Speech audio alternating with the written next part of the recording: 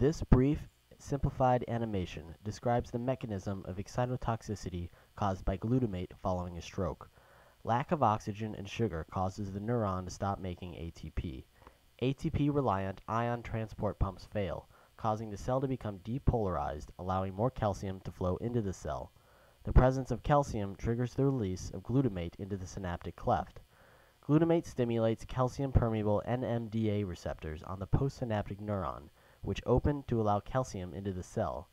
Excess calcium entry overexcites cells and causes the generation of harmful free radicals, reactive oxygen species, and calcium-dependent enzymes such as calpain, endonucleases, ATPases, and phospholipases.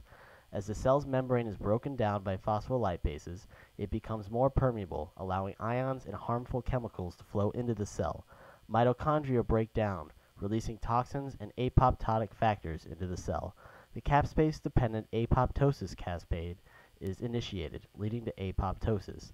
If the cell dies through necrosis, however, it releases glutamate and toxic chemicals into the environment around it. The original influx of calcium can also cause the release of more glutamate. The released glutamate then causes nearby neurons to repeat the same cycle.